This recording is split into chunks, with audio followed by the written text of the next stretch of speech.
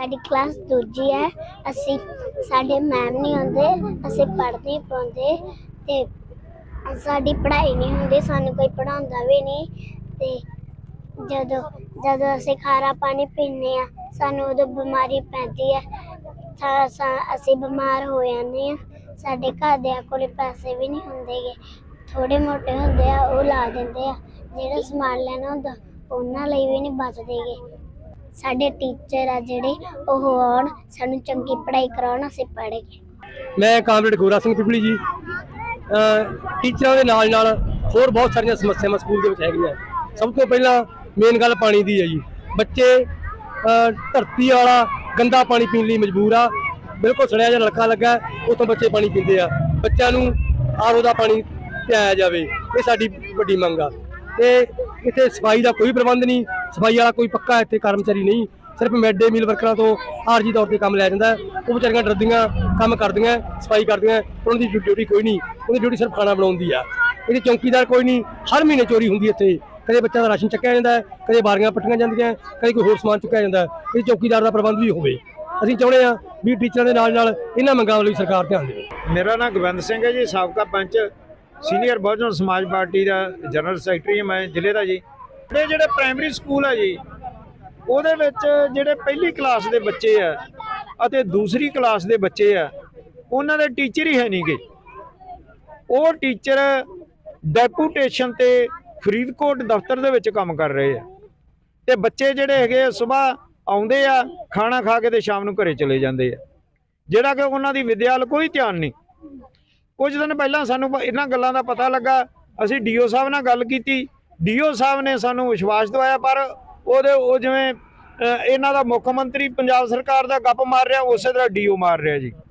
ਉਹਨੇ ਵੀ ਗੋਂਗਲੂਆਂ ਦਾ ਮਿੱਟੀ ਝਾੜੀ ਹੈ। ਹਲੇ ਤੱਕ ਕੋਈ ਉਹਨੇ ਪ੍ਰਬੰਧ ਨਹੀਂ ਕੀਤਾ।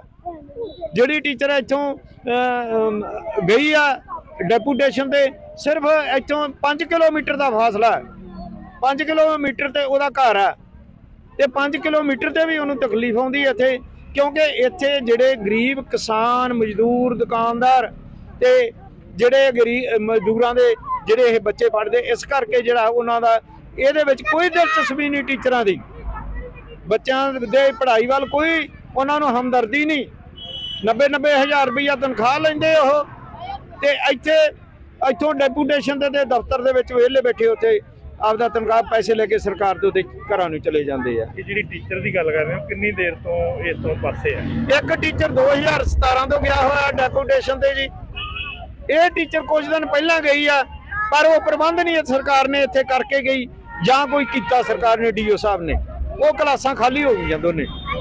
ਸਾਡੀ ਫੋਨ ਤੇ ਗੱਲ ਕੀਤੀ ਅਸੀਂ ਜਦੋਂ ਸਾਨੂੰ ਪਤਾ ਲੱਗਾ ਡੀਓ ਸਾਹਿਬ ਨੇ ਕਹਿ ਦਿੱਤਾ ਵੀ ਅਸੀਂ ਟੀਚਰ ਭੇਜ ਦਿੰਨੇ ਆ ਪਰ ਹਲੇ ਤੱਕ ਕੋਈ ਟੀਚਰ ਨਹੀਂ ਭੇਜਿਆ। ਤੇ ਹੁਣ ਤੁਹਾਡੀ ਮੀਟਿੰਗ ਹੋਈ ਸੀ, ਕੀ ਮੀਟਿੰਗ ਦੇ ਵਿੱਚ ਭਰੋਸਾ ਮੀਟਿੰਗ ਦੇ ਵਿੱਚ ਇਹ ਆ ਵੀ ਉਹ ਕਹਿੰਦੇ ਵੀ ਅਸੀਂ ਰਿਟਰਨ ਦੇ ਵਿੱਚ ਜਿਹੜੇ ਹੈਗੇ ਆ ਹੈਡ ਟੀਚਰ ਉਹ ਕਹਿੰਦੇ ਅਸੀਂ ਰਿਟਰਨ ਤੇ ਉਹਦਾ ਜਿਹੜਾ ਇੱਥੋਂ ਦੇ ਜਿਹੜੇ ਹੈਗੇ ਉਹ ਆਰਡਰ ਕੈਨਸਲ ਕਰਦੇ ਆ ਡੈਪੂਟੇਸ਼ਨ ਦੇ ਭੇਜਦੇ ਆ ਦਫ਼ਤਰ ਨੂੰ ਵੀ ਇਹ ਕੈਨਸਲ ਕੀਤੇ ਜਾਂਦੇ ਜਿਹੜਾ ਹੈਗਾ ਉਹਦੀ ਜੁਆਇਨ ਕਰ ਆਪਦੀ ਡਿਊਟੀ ਤੇ ਹਾਜ਼ਰ ਹੋਵੇ। ਤੇ ਸਾਨੂੰ ਵਿਸ਼ਵਾਸ ਦਿਵਾਇਆ, ਅਸੀਂ ਸੋਮਵਾਰ ਤੱਕ ਉਹ ਇਹਨਾਂ ਨੂੰ ਟਾਈਮ ਦਿੱਤਾ, ਨਹੀਂ ਤਾਂ ਸੋਮਵਾਰ ਨੂੰ ਅਸੀਂ ਵੱਡੀ ਪੱਧਰ ਤੇ ਅਸੀਂ ਪਿੰਡ ਲੈਵਲ ਤੇ ਜਿਹੜੇ ਸਾਰੇ ਲੋਕਾਂ ਨੂੰ ਇਕੱਠੇ ਕਰਕੇ, ਬੱਚਿਆਂ ਨੂੰ ਇਕੱਠੇ ਕਰਕੇ ਅਸੀਂ ਫਿਰ ਲਗਾਤਾਰ ਧਰਨਾ ਦੇਵਾਂਗੇ। ਜਿੰਨਾ ਚਿਰ ਟੀਚਰ ਹਾਜ਼ਰ ਨਹੀਂ ਹੁੰਦੇ ਟੀਚਰ ਇੱਥੇ ਪੂਰੇ ਨਹੀਂ ਹੁੰਦੇ, ਉਹਨਾਂ ਚਿਰ ਅਸੀਂ ਉਹ ਧਰਨਾ ਨਹੀਂ ਚੁੱਕਾਂਗੇ। ਪਰ ਜਿਹੜਾ ਤਾਂ ਰੋਸ ਪ੍ਰਦਰਸ਼ਨ ਹੈਗਾ ਅਧਿਆਪਕਾਂ ਦੀ ਘਾਟ ਵਾਲਾ, ਉਹ ਬਿਲਕੁਲ ਸਹੀ ਹੈ। ਉਸ ਸੰਬੰਧੀ ਅਸੀਂ ਨਾਲੋਂ ਨਾਲ ਉੱਚ ਅਧਿਕਾਰੀਆਂ ਦੇ ਧਿਆਨ 'ਚ ਲਿਆਂਦੀ ਹੈ ਇਹ ਗੱਲ। ਪਰ ਅਸੀਂ ਤਾਂ ਹੁਕਮ ਦੇ ਬੱਧੇ ਆ ਜਦੋਂ ਸਾਨੂੰ ਉੱਤੋਂ ਹੁਕਮ ਆ ਜਾਂਦੇ ਆ ਵੀ ਇਸ ਅਧਿਆਪਕ ਨੂੰ ਜਿਹੜਾ ਫ਼ਰਕ ਕਰ ਦਿੱਤਾ ਜਾਵੇ ਅਸੀਂ ਫ਼ਰਕ ਕਰ ਦਿੰਦੇ ਹਾਂ ਜੀ। ਜੇ ਉੱਤੋਂ ਹੁਕਮ ਆਉਂਦੇ ਆ ਵੀ ਇਹਨੂੰ ਰੱਦ ਕੀਤਾ ਜਾਵੇ, ਇਹਨੂੰ ਜੁਆਇਨ ਕਰਾਇਆ ਜਾਵੇ, ਅਸੀਂ ਜੁਆਇਨ ਕਰਾ ਲੈਂਦੇ ਹਾਂ ਜੀ। ਜਿਹੜੀ ਗੱਲ ਤੁਸੀਂ ਬਾਥਰੂਮਾਂ ਦੀ ਕਹੀ ਹੈ ਜੀ, ਇਹ ਤੁਹਾਡੇ ਸਾਹਮਣੇ ਸਾਡੇ ਮਿਸਤਰੀ ਲੱਗੇ ਹੋਏ ਆ। ਜੰਗੀ ਪੱਧਰ ਤੇ ਸਾਡੇ ਜਿਹੜੇ ਕਾਰਜ ਚੱਲ ਰਹੇ ਆ। ਇਧਰਲੇ ਪਾਸੇ ਬਾਥਰੂਮ ਉਹ ਗਿੱਲਾ ਤੁਸੀਂ ਮੈਂ ਤੁਹਾਨੂੰ ਜਾ ਕੇ ਹੁਣੇ ਮੌਕੇ ਤੇ ਮੈਂ ਵਿਖਾ ਸਕਦਾ। ਔਰ ਉਹ ਬਾਥਰੂਮ ਦੀ ਤਿਆਰੀ ਚੱਲ ਰਹੀ ਹੈ। ਤਿਆਰੀ ਚੱਲ ਰਹੀ ਕਰਕੇ ਉਹ ਇੰਜ ਲੱਗਦਾ ਮਾਪਿਆਂ ਨੂੰ ਵੀ ਅਲੱਗ-ਅਲੱਗ ਨਹੀਂ ਹੈ, ਇਕੱਠੇ ਆ ਇੱਕ ਗੇਟ ਤੇ ਅਨੁਸਾਰ ਜਦੋਂ ਤੁਸੀਂ ਗੇਟ ਤੇ ਐਂਟਰ ਕਰਦੇ ਹੋ, ਖੱਬੇ ਪਾਸੇ ਬਾਥਰੂਮ ਕੁੜੀਆਂ ਦਾ ਵੱਖਰਾ ਪੂਰਾ ਉਹ ਵਰਕਿੰਗ ਹਾਲਤ ਦੇ ਵਿੱਚ ਹੈ, ਉਹ ਪੂਰਾ A1 ਬਾਥਰੂਮ ਆ ਔਰ ਰੋਜ਼ਾਨਾ ਉਹਦੀ ਅਸੀਂ ਅਨੁਸਾਰ ਜਿਹੜੀ ਹੈ ਸਫ਼ਾਈ ਕਰਦੇ ਹਾਂ, ਕਰਵਾਉਂਦੇ ਹਾਂ, ਕਿਉਂਕਿ ਸਰਕਾਰ ਵੱਲੋਂ ਸਫ਼ਾਈ ਸਫ਼ਾਈ ਸੇਵਕ ਦੀ ਨਿਸ਼ਾਨੀ ਦਿੱਤੀ ਗਈ ਹੈ ਤੇ ਜਿਹੜਾ ਲੜਕਿਆਂ ਵਾਲਾ ਬਾਥਰੂਮ ਆ, ਉਹ ਤੁਸੀਂ ਹੁਣੇ ਜਾ ਕੇ ਦੇਖ ਸਕਦੇ ਹੋ ਪਲਾਸਟਰ ਉਹਨੂੰ ਕਰਵਾਇਆ, ਬਕਾਇਦਾ ਉਹਨੂੰ ਵਰਕਿੰਗ ਹਾਲਤ ਦੇ ਵਿੱਚ ਅਸੀਂ ਦੋ ਜਾਂ ਤਿੰਨ ਦਿਨ ਦੇ ਵਿੱਚ ਕਿਉਂਕਿ ਉਹ ਸੁੱਕ ਰਿਹਾ ਜੀ ਜਿਹੜਾ ਪਲਾਸਟਰ ਸੁੱਕਣ ਤੋਂ ਬਾਅਦ ਹੀ ਉਹਦੇ ਵਿੱਚ ਟਾਈਲਾਂ ਵਗੈਰਾ ਲੱਗ ਸਕਦੀਆਂ।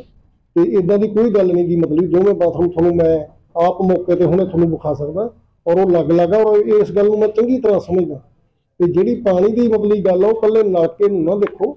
ਪਰਲੇ ਪਾਸੇ ਸਾਡਾ ਇੱਕ ਜਿਹੜਾ ਆਰਓ ਆ, ਜਿੱਥੇ ਟੂਟੀਆਂ ਲੱਗੀਆਂ ਹੋਈਆਂ, ਔਰ ਉਹਨੂੰ ਤੁਸੀਂ ਖੁਦ ਜਾ ਕੇ ਮਤਲਬ ਵੀ ਦੇਖ ਸਕਦੇ ਹੋ। ਜੇ ਉੱਥੇ ਵੀ ਕਿਤੇ ਉਹਦੇ ਵਿੱਚ ਟੂਟੀ ਦਾ ਪਾਣੀ ਜਾ ਰਿਹਾ, ਟੂਟੀ ਪਾਉਂਦਾ ਪਾਣੀ ਅੱਗੇ ਜਾ ਕੇ ਉਹ ਫਿਲਟਰ ਹੋ ਰਿਹਾ ਪਾਣੀ ਮਤਲਬ। ਮੇਰੇ ਵੱਲੋਂ ਔਰ ਮੇਰੇ ਸਟਾਫ ਵੱਲੋਂ ਅਸੀਂ 24 ਘੰਟੇ ਬੱਚਿਆਂ ਦੇ ਸਰਵਪੱਖੀ ਵਿਕਾਸ ਦੇ ਲਈ ਵਚਨਬੱਧ ਹਾਂ। ਅਧਿਆਪਕ ਸੰਬੰਧੀ ਤਾਂ ਇਹ ਹੈ ਜੀ ਕਿ ਸਾਡੇ ਇੱਕ ਅਧਿਆਪਕਾ ਆਈਟੀਟੀ ਅਧਿਆਪਕਾ ਮੈਡਮ ਰੁਚੀ ਸ਼ਰਮਾ। ਉਹਨਾਂ ਦੀ ਡੈਪੂਟੇਸ਼ਨ ਸਰਕਾਰੀ primary school Bhan Singh colony ਕੀਤੀ ਗਈ ਹੈ ਵਿਭਾਗ ਵੱਲੋਂ। ਹੀ ਸਾਡੇ ਉੱਚ ਅਧਿਕਾਰੀਆਂ ਵੱਲੋਂ ਸਾਨੂੰ ਲਿਖਤੀ ਪੱਤਰ ਸੀਐਚਟੀ ਸਾਹਿਬ ਨੂੰ ਜਾਰੀ ਹੋਇਆ ਸੀ। ਤਾਂ ਉਹਨਾਂ ਨੇ ਉਸ ਪੱਤਰ ਦੀ ਪਾਲਣਾ ਕਰਦੇ ਹੋਏ ਮੈਡਮ ਨੂੰ ਫਾਰਗ ਕਰਤਾ ਡਿਊਟੀ ਤੋਂ। ਉੱਥੇ ਉਹ ਡੈਪੂਟੇਸ਼ਨ ਤੇ ਹੈ। ਇੱਥੇ 6 ਸੈਕਸ਼ਨ ਹੈ ਜੀ ਸਾਡੇ। 150 ਵਿਦਿਆਰਥੀ ਪੜ੍ਹਦੇ ਹੈ ਅਧਿਆਪਕ ਪੰਜ ਰਹਿ ਗਏ ਸੈਕਸ਼ਨ 6 ਸੀ ਇਸ ਕਰਕੇ ਇੱਕ ਕਲਾਸ ਦੇ ਵਿੱਚ ਸਾਨੂੰ ਸਮੱਸਿਆ ਆ ਰਹੀ ਸੀ। ਉਹਦੇ ਕਰਕੇ ਡਿਸਕਸ਼ਨ ਹੋਈ ਸਾਡੀ। ਤਾਂ ਹੁਣ ਅਸੀਂ ਇਸ ਸੰਬੰਧੀ ਡੀਓ ਸਾਹਿਬ ਨੂੰ ਇਨਫੋਰਮ ਕਰਤਾ ਫੋਨ ਤੇ ਜੀ ਇੱਕ ਲਿਖਤੀ ਪੱਤਰ ਵੀ ਬੇਨਤੀ ਪੱਤਰ ਅਸੀਂ ਉਹਨਾਂ ਨੂੰ ਭੇਜਤਾ ਕਿ ਜਿਹੜੇ ਮਾਪੇ ਉਹ ਨਾਰਾਜ਼ ਹੈ ਇਸ ਗੱਲ ਤੋਂ। ਅਧਿਆਪਕਾਂ ਦੀ ਡੈਪੂਟੇਸ਼ਨ ਰੱਦ ਕੀਤੀ ਜਾਵੇ ਜੀ। ਤੇ ਅਧਿਆਪਕਾਂ ਜਿਹੜੇ ਅਧਿਆਪਕਾਂ ਦੀ ਘਾਟ ਨੂੰ ਪੂਰਾ ਕੀਤਾ ਜਾਵੇ। ਮੈਨੂੰ ਡੀਓ ਸਾਹਿਬ ਵੱਲੋਂ ਕੀ ਭਰੋਸਾ ਦਿੱਤਾ ਗਿਆ ਜੀ? ਉਹਨਾਂ ਵੱਲੋਂ ਸਾਨੂੰ ਭਰੋਸਾ ਦਿਵਾਇਆ ਗਿਆ ਕਿ ਸੋਮਵਾਰ ਤੱਕ ਉਹ ਮੈਡਮ ਦੀ ਜਾਂ ਤਾਂ ਡੈਪੂਟੇਸ਼ਨ ਰੱਦ ਕਰਕੇ ਉਹਨਾਂ ਨੂੰ ਇੱਥੇ ਭੇਜਣਗੇ ਜੀ ਸਰਕਾਰੀ ਪ੍ਰਾਇਮਰੀ ਸਕੂਲ। ਤੇ ਨਹੀਂ ਉਹ ਕਿਸੇ ਹੋਰ ਅਧਿਆਪਕ ਦਾ ਪ੍ਰਬੰਧ ਕਰਨਗੇ ਤਾਂ ਕਿ ਜਿਹੜੀ ਅਧਿਆਪਕਾਂ ਦੀ ਘਾਟ ਉਹਨੂੰ ਪੂਰਾ ਕੀਤਾ ਜਾ ਸਕੇ। ਤੇ ਜਿਹੜਾ ਬਾਥਰੂਮਾਂ ਨੂੰ ਲੈ ਕੇ ਮੈਡਮ ਹਵਾ ਸਮੱਸਿਆ ਚੱਲ ਰਹੀ ਕਿਉਂਕਿ ਇੱਥੇ ਦੱਸਿਆ ਜਾ ਰਿਹਾ ਕਿ ਬੱਚਿਆਂ ਦੇ ਜਿਹੜੇ ਬਾਥਰੂਮ ਮੁੰਡੇ ਕੁੜੀਆਂ ਦਾ ਇੱਕ ਹੀ ਹੈ ਤੇ ਪਾਣੀ ਦਾ ਬਹੁਤ ਮਾੜਾ ਪ੍ਰਬੰਧ ਹੈ ਉਸ ਵਿਸ਼ੇ ਤੇ ਕੋਈ ਜੀ ਉਸ ਵਿਸ਼ੇ ਤੇ ਸੀਐਚਟੀ ਸਾਹਿਬ ਤੁਹਾਨੂੰ ਜ਼ਿਆਦਾ ਜਾਣਕਾਰੀ ਦੇ ਸਕਦੇ ਵੈਸੇ। ਕਿਉਂਕਿ ਉਹਨਾਂ ਦੇ ਸਕੂਲ ਦਾ ਮਸਲਾ ਹੈ। ਦੇਖੋ ਜੀ, ਸਮੇਂ-ਸਮੇਂ ਤੇ ਗ੍ਰਾਂਟਾਂ ਆਉਂਦੀਆਂ ਰਹਿੰਦੀਆਂ, ਉਹਨਾਂ ਨੂੰ ਨਿਰਧਾਰਤ ਹਦਾਇਤਾਂ ਮੁਤਾਬਕ ਖਰਚ ਵੀ ਕੀਤਾ ਜਾਂਦਾ ਹੈ। ਗ੍ਰਾਂਟ ਆਈ ਹੋਣੀ, ਖਰਚ ਵੀ ਕੀਤਾ ਹੋਣਾ, ਹੋ ਸਕਦਾ ਕਿਤੇ ਕੋਈ ਹੁਣ ਤਾਈ ਪਾਈ ਗਈ ਹੋਵੇ, ਤਾਂ ਅੱਗੇ ਤੋਂ ਜਿਵੇਂ ਵੀ ਗ੍ਰਾਂਟਾਂ ਆਉਣਗੀਆਂ।